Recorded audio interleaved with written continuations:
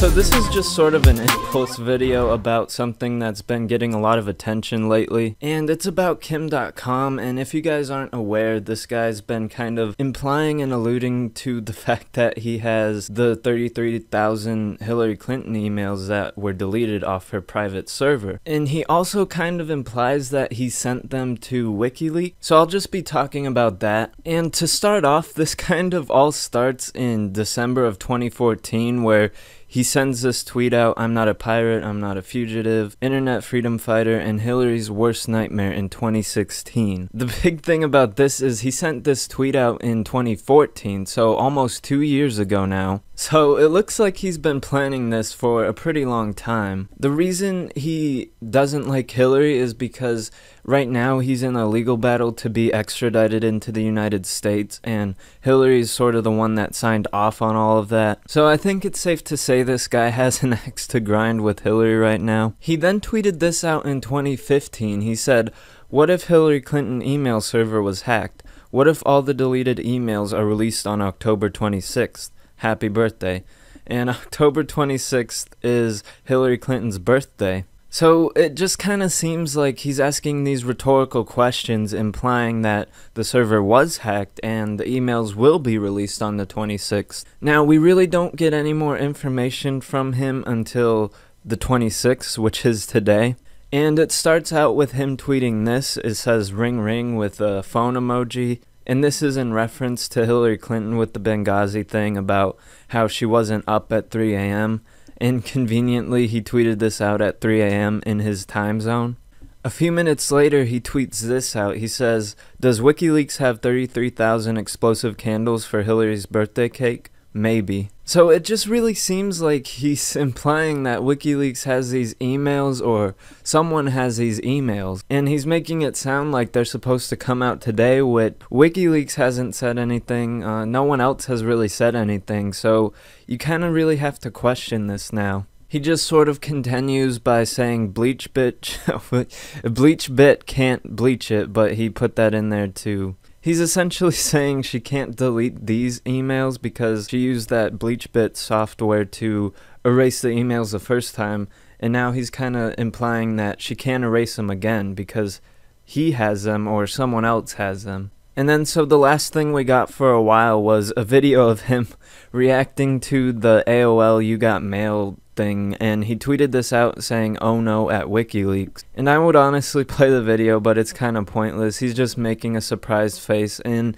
it kind of implies like WikiLeaks is getting emails, either from him or from someone. So about 16 hours passed from that video, and then he tweeted this out, and a lot of people were actually really upset because they're wondering, why are you tweeting all these things? Where's the emails? Why did you imply that you had the emails and all that? But in this one, he says he knows where the deleted emails are and how to get them legally. Is step one, go to NSA.gov, contact Mike Rogers, which is one of the heads of the NSA, so to say. Ask Mike to open X or Cross Keyscore which is the NSA's program to kind of filter through all the data they collect. And step four, input this selector. And with that, he's kind I guess he's giving instructions on how to get them legally through the NSA. Now, a lot of people were really mad and pissed off at him for Now, a lot of people were kind of mad and pissed off at him for this one because they thought maybe he hyped this whole thing up just to give him that. But I think that's actually a really good tweet when you look at it because you can read the stuff on the screen right now. I'm just going to talk over it because he's just saying that the NSA has the emails and if you want to get them, you you should go through them. But he always says legally. He doesn't say illegally or another route or whatever he says right there. Now, the big thing about that is that maybe he's saying that because they will be released, but in order to use them against someone, they have to come through a legal chain of command. That's why when you see a lot of leaks or videos or stuff, people don't get prosecuted, is because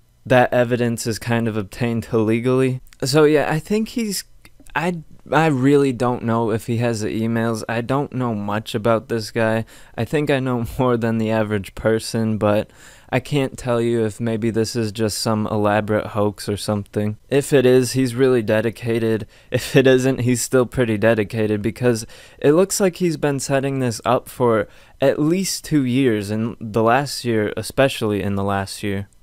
So I'll just quickly go over the pros of this and the cons. So he I think he might be setting up a failsafe to say, okay, well, if I release these emails, they're going to be released illegally. So we if Hillary's going to get in trouble, she's going to have to get the emails legally or the prosecutor's going to have to get them legally from the NSA. He's also been alluding to this for at least 2 years and I think that's a lot of time just to pull off a hoax, I guess. And the cons are pretty simple. I mean, it's almost the end of the 26th, which is the date that he's been implying that all this is going to go down. It also could obviously just be a hoax, or he could be hyping it up a lot more than it really should be. And then, lastly, if you don't know, there's been this rumor going around that WikiLeaks has been compromised. That's to say that WikiLeaks, the team WikiLeaks, isn't in control of WikiLeaks anymore because they got taken out by the government or something. I'm not 100% sure if that's true. I feel like we would know a bit more. But that would be the absolute worst case scenario because what could happen is he's friends with Julian Assange, so he might have known that they had the emails and they were coming out on the 26th, but now if they're compromised, they're not going to come out on the 26th, and he's going to look really foolish because he was always talking about how they're going to come out on the 26th and all that stuff. But anyways, as always, just let me know what you think. Form your own opinions on this stuff. I'm just trying to give the information. If you have any ideas, just leave them in the comment section, and I'll see you next time. Now which way do we go? is the question